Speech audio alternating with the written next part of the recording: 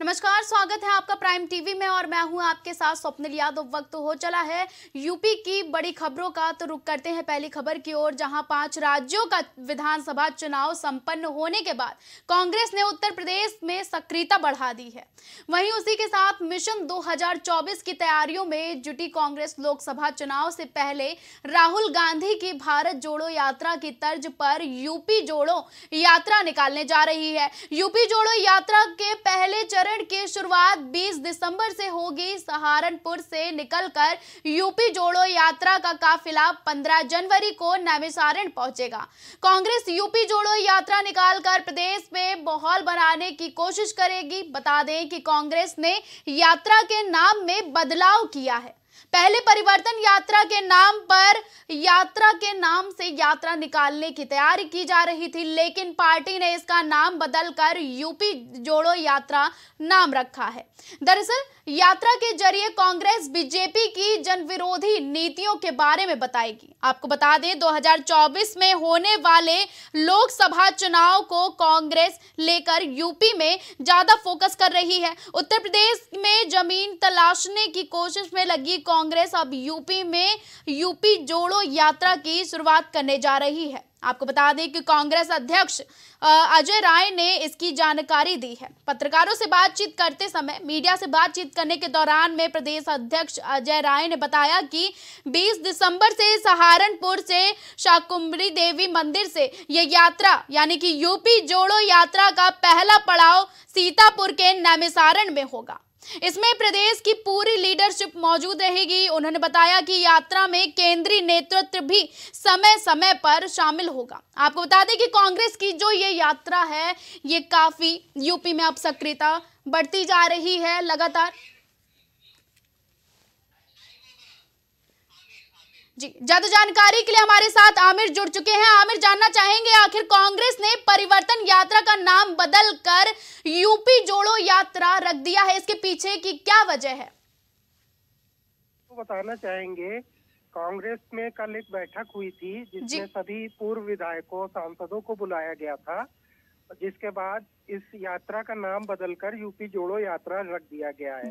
प्रदेश अध्यक्ष अजय राय जी ने इसके बाद एक प्रेस कॉन्फ्रेंस की थी और उन्होंने बताया था कि जो है, इस यात्रा में हम 20 दिसंबर से सहारनपुर से यात्रा शुरू की जाएगी कांग्रेस की।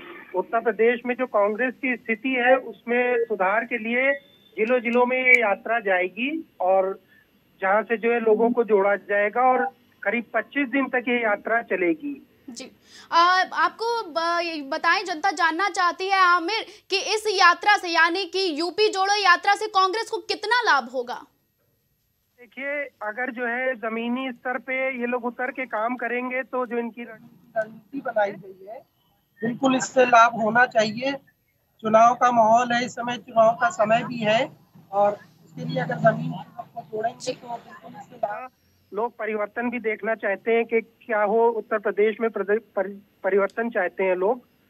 उसके लिए कांग्रेस बहुत जमीनी स्तर पर अब काम कर रही है तो बिल्कुल उसका लाभ मिलना चाहिए। जी जैसा कि आमिर कांग्रेस जो है वो चुनाव के समय में ही उत्तर प्रदेश में काफ़ी ज़्यादा सक्रिय होती है। तो क्या ये सिर्फ़ सक्रियता दिखाने का प्रयास है कांग्रेस का?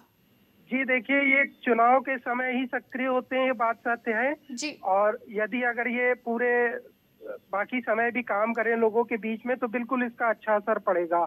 और अच्छा असर देखने को मिलेगा क्योंकि चुनाव जीतने के लिए और जनता में विश्वास बनाने के लिए लगातार काम करना बहुत ज़रूरी है। जानकारी के लिए बहुत बहुत धन्यवाद।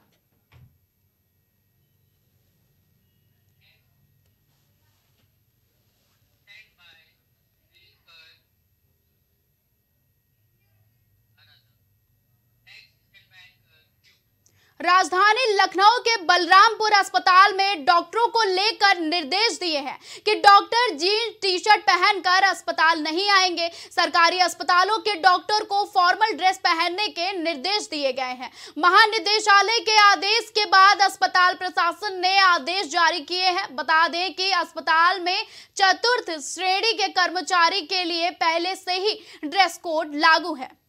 आपको बता दें कि जो डॉक्टर के लिए ड्रेस कोड लागू किया गया है और इसके बाद अब डॉक्टर अस्पतालों में जीन्स टी शर्ट पहनकर नहीं आ सकेंगे और इसके साथ ही डॉक्टरों को अब फॉर्मल ड्रेस में आना है। एक ड्रेस कोड दिया जाएगा बलरामपुर से।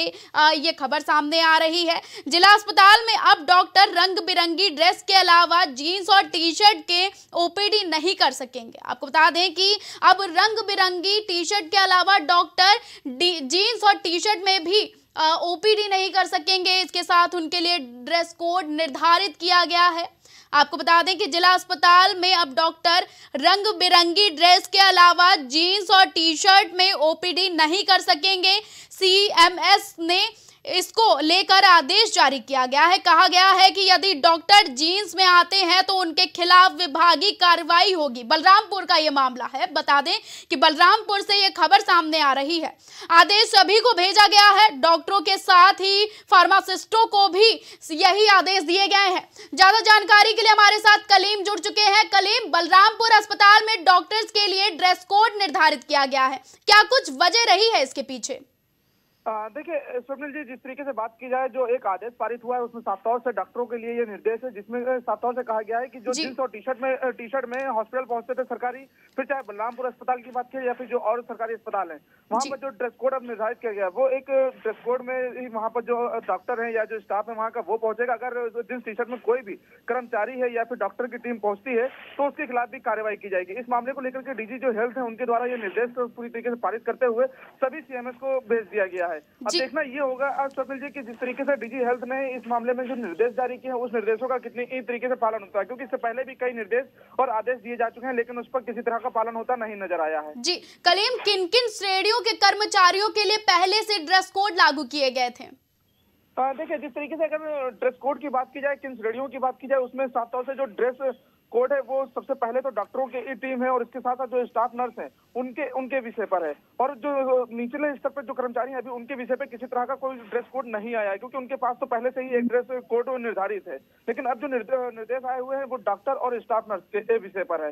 अब जिस तरीके से ड्रेस कोड की ये जो प्रक्रिया है ये देखना होगा कि कितने समय से शुरू हो जाती है क्योंकि दो दिन हो गए निर्देश दिए हुए दिए हुए लेकिन अभी उसका पालन होता हुआ नहीं दिखा है। जी जी। कलीम जानना चाहेंगे की डॉक्टर के पास तो पहले से ही सफ़ेद कोट होता है और वो इसके डॉक्टरों के लिए सबसे बड़ा प्रतीक है, लेकिन इसके बाद बलरामपुर अस्पताल में ड्रेस कोड निर्धारित किया गया है। तो क्या ये सिर्फ़ बलरामपुर अस्पताल के लिए ही है, या फिर अन्य अस्पतालों में भी अब जल्द कुछ बदलाव देखने को मिलेंगे ड्रेस कोड को लेकर?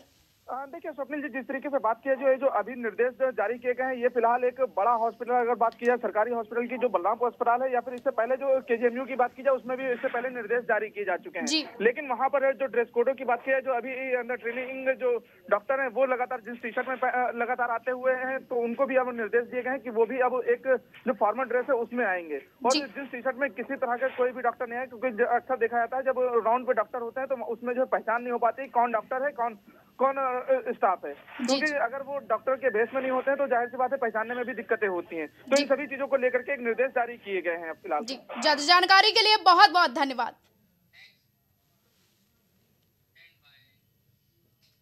अखिल भारतीय ब्राह्मण महासभा लखनऊ में ब्राह्मण महाकुंभ इंदिरा गांधी प्रतिष्ठान में 14 दिसंबर 2023 को आयोजित कर रहा है और इस महाकुंभ में दिल्ली एनसीआर के साथ पश्चिमी उत्तर प्रदेश के में कार्यकर्ता दासनाथ देवी मंदिर में इकट्ठा होंगे। इसके बाद सभी लोग भगवान परशुराम का आशीर्वाद लेकर उनके शस्त्र और प्रतीक चिन्ह एक वर्षों के साथ लखनऊ के लिए रवाना होंगे।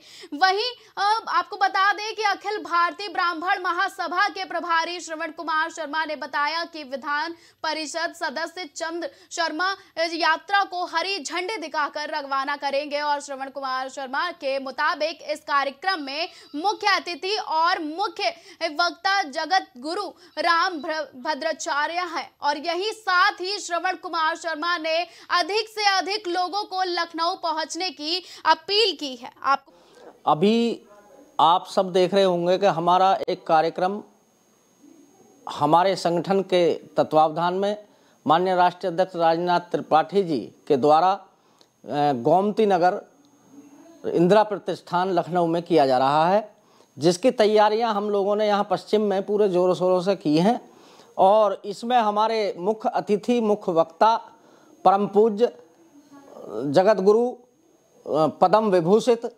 श्री राम भद्राचार्य जी महाराज आ रहे हैं और सभी लोग हमारे समाज के और जो सनातनी लोग हैं, वो सभी उनके आशीष वचन सुनने के लिए जाएँगे, ऐसी मेरी कामना है।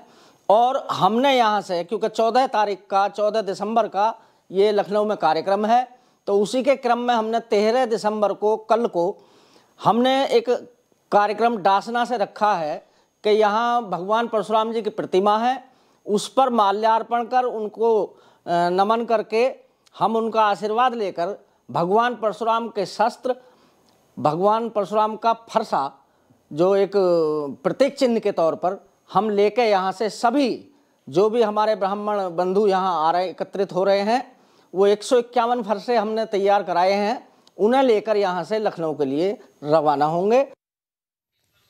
आपको बता दें कि अखिल भारतीय ब्राह्मण महासभा के राष्ट्रीय अध्यक्ष माधव मिश्र शनिवार को महानगर पहुँचे और उन्होंने बताया कि महाकुंभ की तैयारियाँ जो है वो जोरों शोरों पर चल रही हैं और इसी के साथ ही साथ पदाधिकारियों और सदस्यों ने राष्ट्रीय अध्यक्ष का स्वागत किया। बताया जा रहा है कि तीस वर्षों से माधव ब्राह्मण समाज की आवाज़ बनकर खड़े हैं। आपको बता दें कि ज़्यादा जानकारी के लिए हमारे साथ प्रवीण जुड़ चुके हैं। तो प्रवीण, क्या कुछ जानकारी है कि ब्राह्मण समाज के कौन कौन कौन से कार्यकर्ता इसमें शामिल होंगे, इस आयोजन में शामिल होंगे। देखिए, आपको बता दूँ, गाजियाबाद के पश्चिम उत्तर प्रदेश की अगर बात की जाए तो पश्चिम उत्तर प्रदेश में जितने भी ब्राह्मण समाज के जो राष्ट्रीय अध्यक्ष है उनका एक कूच है यहाँ पे लगभग एक एक सौ इक्यावन फर्शों के साथ यहाँ से परशुराम परशुराम भगवान की एक ज्योति यहाँ पर अर्पित की जाएगी। उसके बाद सीधे लखनऊ के लिए लोग निकलेंगे गोमती नगर जहाँ पर भव्य कार्यक्रम होना है। वहाँ पर ब्राह्मण समाज के सभी लोगों को एकत्र करने की बात कही गई है। इसमें साफ़ तौर पर ये भी कहा गया है कि जो ब्राह्मण है काफ़ी पिछड़े मतलब पिछड़ रहे हैं उनको आगे लाकर उनको आगे आना चाहिए बढ़ चढ़कर हिस्सा लेना चाहिए इन चीज़ों में। क्योंकि लगातार राम मंदिर को लेकर ब्राह्मण समाज आगे बढ़ चढ़कर हिस्सा ले रहा है। तो कहीं ना कहीं जो पश्चिम उत्तर प्रदेश के जितने भी ब्राह्मण समाज के राष्ट्रीय अध्यक्ष हैं जो यहाँ के पदाधिकारी हैं वो लोग भी साथ में पहुँचेंगे। आज लगभग तेरह तारीख को यहाँ से जो जो ज्योति जलाई जाएगी जो कि परशुराम भगवान की आरती होगी। उसके बाद ये सभी जितने भी ब्राह्मण समाज के लोग एकत्र होंगे ये लोग सीधे लखनऊ के लिए कूच करेंगे जो कि चौदह तारीख को भव्य कार्यक्रम होना है। जिसको लेकर काफ़ी तैयारियाँ कर दी गई हैं जी। जी ये जो एक सौ इक्यावन फरसों का जो कूच करेंगे इसके पीछे क्या कुछ रणनीति और आयोजन में इसका क्या कुछ विशेष स्थान रहेगा?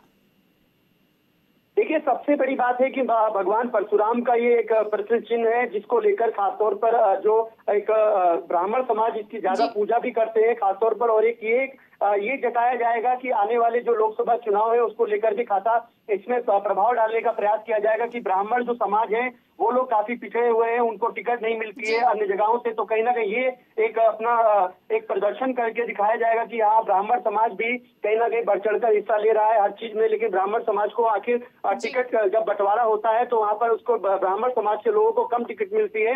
वहीं अगर बात की जाए ब्राह्मण समाज जो पश्चिम उत्तर प्रदेश के ब्राह्मण समाज के लोग हैं वो काफ़ी बढ़ चढ़ कर हिस्सा भी ले रहे हैं। काफ़ी भारी संख्या में लोग एकत्र होंगे और जहाँ पर पूजा अर्चना करने के बाद भगवान परशुराम की और ये लोग सभी लोग लखनऊ के लिए रवाना होंगे जहाँ पर कल चौदह तारीख को एक भव्य कार्यक्रम होना है सभी लोग इकट्ठा होंगे वहाँ पे और डासना मंदिर से चलकर ये पूरी यात्रा लखनऊ के लिए रवाना होगी जी। जी जानकारी के लिए बहुत बहुत धन्यवाद।